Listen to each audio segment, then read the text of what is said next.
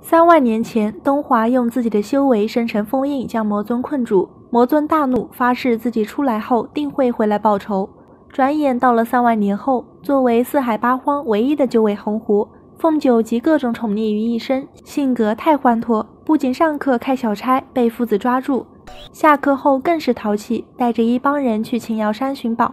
小金卫奉主人的命，想要把凤九骗回去，却被凤九识破。为了逃脱家人的管束。凤九一个人跑了出去，在路上被一股黑风带到了禁地山谷。好奇心险些害死狐狸，凤九竟然触碰到了魔尊的封印。幸好东华帝君及时出现，救了凤九。作为帝君的小迷妹，看到魔族的人颠倒黑白，凤九很生气，想要收拾收拾他们。没想到小精卫突然出现，带走了凤九。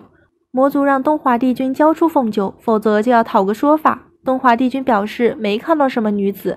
魔族不罢休，帝君无奈，只好承诺以后会帮魔族一个忙。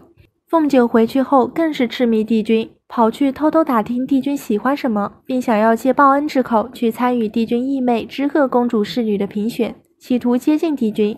知鹤公主也喜欢帝君，怕侍女不老实勾引帝君，便排斥长相美丽的侍女。凤九长得如此好看，怎么样才能入选呢？